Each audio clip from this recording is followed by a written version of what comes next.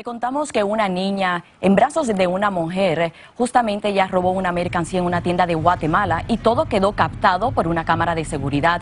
Asombrosamente, ni la empleada ni los clientes se dieron cuenta de nada y tras cometer su fechoría, pues la ladrona se marchó tranquilamente con su botín.